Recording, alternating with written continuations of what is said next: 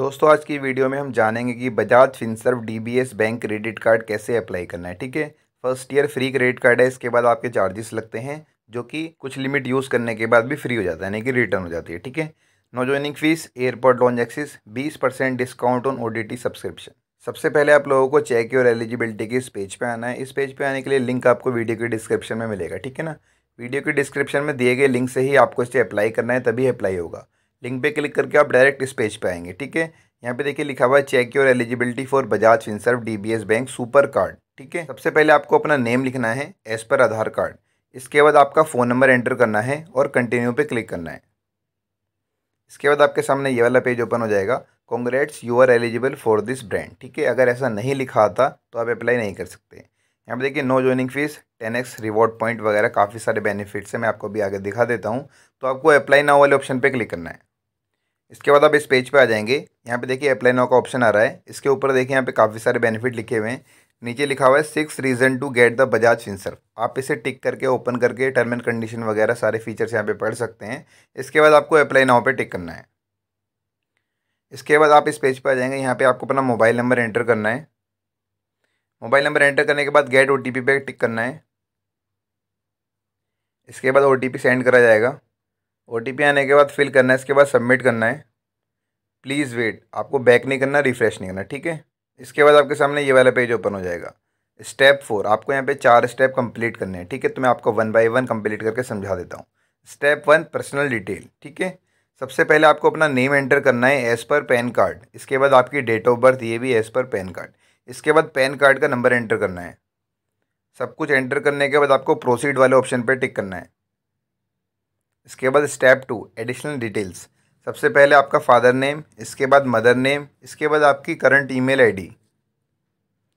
सब कुछ एंटर करने के बाद नीचे आपका जेंडर और मैरिटल स्टेटस, ठीक है? सब कुछ फिल करके आपको प्रोसीड वाले ऑप्शन पर टिक करना है। इसके बाद step three, occupation details. Salaried या फिर सेल्फ एम्प्लॉयड। आप जो भी हैं, टिक कर सकते हैं। तो मैं सैलरीड हूँ तो मैं सैलरीड पे टिक कर देता हूँ। इसके बाद नीचे कंपनी नेम जिस कंपनी में आप जॉब करते हैं, अपना काम है तो अपना काम लिख सकते हैं। इसके बाद जिस कंपनी में आप जॉब करते हैं, आपकी डेजिग्नेशन क्या है? सेल्स एग्जीक्यूटिव तो आप यहाँ पे एंटर कर सकते हैं। जो भी हैं आप आपकी जो भी डेजिग्नेशन है, वो आप यहाँ पे एंटर करेंगे। डिटेल फिल करने के बाद आपको प्रोसीड वाले ऑप्शन पे क्लिक करना है। इसके बाद लास्ट स्टेप है हमारा step four address detail choose your current home address जो भी आपका आधार कार्ड में प्रॉपर एड्रेस है, आपको वहीं यहाँ पे फिल करना है। तो मैं न्यू एड्रेस पर टिक कर देता हूँ।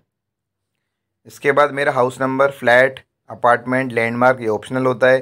पिन कोड सिटी स्टेट सारा डिटेल मैंने यहाँ पे फिल कर दिया। इसके बाद मेरे को सबमिट वाले ऑप्शन पे क्लिक करना है। तो यहाँ पे जो भी मेरा एड्रेस है, वो शो हो जाएगा। आप चाहें तो एडिट भी कर सकते हैं। एक और भी यहाँ पे एड ऑन कर सकते हैं। अब नीचे टाइप ऑफ़ रेजिडेंस इस पर टिक कर दीजिए। अब आपका अपना घर है या रेंटल है, जो भी है तो हमारा अपना घर है तो मैं ऑन पे क्लिक कर देता हूँ। हो गया। अब नीचे आ रहा है preferred address for the delivery of your card यानी कि आपका जो कार्ड है जब बन जाएगा वो डिलीवर्ड कहाँ पे कराना चाहते हैं आप? होम एड्रेस जो कि मैंने अभी एंटर करा है या फिर ऑफ़िस एड्रेस जिसे आप एडिट भी कर सकते हैं। तो मैं ऑफ़िस पे टिक करके आपको दिखा देता हूँ। ऑफ़िस पे टिक करने के बाद नीचे न्यू एड्रेस का ऑप्शन आ गया न्यू एड्रेस पे टिक करना है। इसके बाद जैसे आपने अपना होम एड्रेस यहाँ पे एंटर करा वैसे ही आपको अपना ऑफ़िस एड्रेस भी ऐड करना है ठीक है ना? यानी कि कार्ड डिलीवर्ड आप जहाँ चाहे वहाँ करा सकते हैं प्लस के जो होगी वो भी आप जहाँ चाहें वहाँ करा सकते हैं। तो मैं फ़िलहाल होम एड्रेस ही रहने देता हूँ। इसके बाद आपको प्रोसीड वाले ऑप्शन पे टिक करना है। देखिए यहाँ पे लिखा हुआ आ गया thank you a bank executive will connect with you at the schedule date and time to complete your K तो यहाँ तक का जो हमारा ऑनलाइन प्रोसेस था वो कंप्लीट हो चुका है। एलिजिबिलिटी थी हमारे यहाँ पे थैंक यू लिखा हुआ आ गया यानी कि हंड्रेड परसेंट आपका बन जाएगा। ओके अब क्या होगा? वीक के अंदर आपको एग्जीक्यूटिव का कॉल आएगा। आप अपने ऑफ़िस एड्रेस या फिर होम एड्रेस, जहाँ पे भी चाहें बुला सकते हैं। अगर आपने ऑफ़िस एड्रेस ऐड करा है, आपके ऑफ़िस पे एग्जीक्यूटिव आएगा, नहीं तो अगर आपने होम एड्रेस सिलेक्ट करा है तो होम एड्रेस पे आएगा, ठीक है ना? के में क्या होगा, आपको अपना आधार कार्ड दिखाना है, पैन कार्ड दिखाना है, और आपकी जो फिंगरप्रिंट बायोमेट्रिक होएगी, इतना ही काम होगा, एक दो मिनट का काम है। इसके बाद तीन चार दिन और लगेंगे। आपका जो क्रेडिट कार्ड है, वो आपके होम एड्रेस या फिर ऑफ़िस एड्रेस पे, जहाँ पे भी आप चाहें डिलीवर्ड करा सकते हैं, ठीक है? मेक श्योर आपको कार्ड को अप्लाई करने से रिलेटेड सारी इन्फॉर्मेशन मिल गई होंगी। कैसे आपको स्टेप बाय स्टेप आगे बढ़ाना है, कैसे आपको कंप्लीट करना है, सारा प्रोसेस मैंने आपको समझा दिया।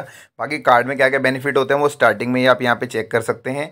कार्ड बिल्कुल आपका लाइफ टाइम फ्री कार्ड नहीं है ये। वन ईयर फ्री कार्ड है, इसके बाद जो भी है, इसकी लिमिट होती है, वो आप यूज़ करते हैं तो रिटर्न हो जाती है आपकी फ़ीस ठीक है ना? बाकी इससे रिलेटेड कोई और क्वेरी है तो आप मुझसे कमेंट बॉक्स में पूछ सकते हैं। आज के लिए बस इतना ही, मिलते हैं एक नई वीडियो में। तो guys thanks for watching this video and subscribe this channel